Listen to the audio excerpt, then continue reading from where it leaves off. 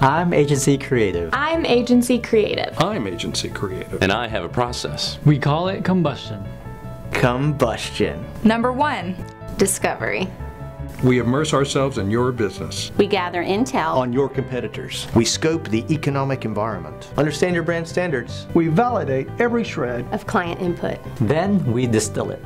And come up with a unique brand insight that boils things down to the brand essence that resonates with your specific audience. From there, we come up with number three passionate expression, something that fires on all cylinders. We're talking big idea. Number four integration and metrics.